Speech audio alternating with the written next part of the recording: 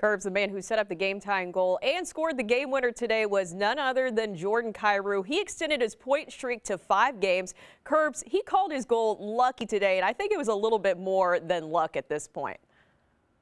Well, you know what? Goal scorers find goals. If that was kind of a fourth line guy that's not used to scoring a lot of goals, that puck goes off the the defenseman Hakanpää into Holtby or it goes into a corner. If you're a goal scorer and you're feeling it, it's Kyrou. But that play you just saw right there, where he rushed the puck over the line, might be one of the best plays of this entire game. And I know he's going to get the puck out of the corner here. He's going to get it to the front, and as he fires it, it goes off the shin pad of Hakanpää to the back of the net for what proves to be the game winner.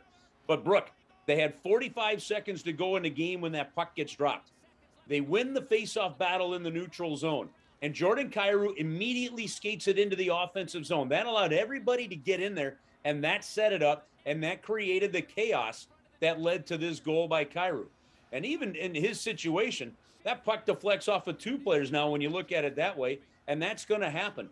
But you don't get that if he doesn't take that puck over the line in a real hurry right off that face-off win. So, deservedly the number one star of the game. He's had a terrific season. I talked to Ryan O'Reilly after the game when uh, Ryan joined Joey and myself on the radio side. And we asked him about the confidence of Jordan Kyrou and how it's growing. He said, guys, his confidence with the puck, he is truly in elite status in this league. How well he can move the puck, pass it, shoot it, and stop on a dime with the kind of speed he has. And what a season he is having. We're not even halfway there yet. I mean, Jordan Kyrou has a legitimate chance of representing the St. Louis Blues in the All Star game later in January.